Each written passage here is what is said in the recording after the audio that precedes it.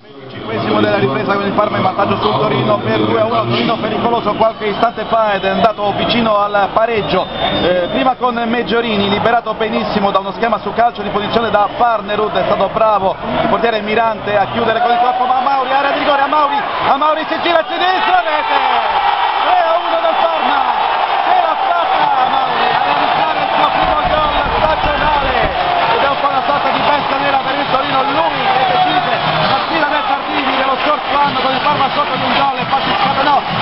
una tripletta a sinistro che ha battuto il portiere Padelli era spalle alla porta, è riuscito a girarsi. Con il sinistro, non ha colpito benissimo ma il pallone è terminato in fondo alla rete lentamente un'altra beffa per il portiere Padelli dopo lo splendido gol di calcio del Centro Montenegro alla fine della sua terza il dunque il Parma si porta sul 3-1 con il primo gol di Amauri. Siamo al 26esimo della ripresa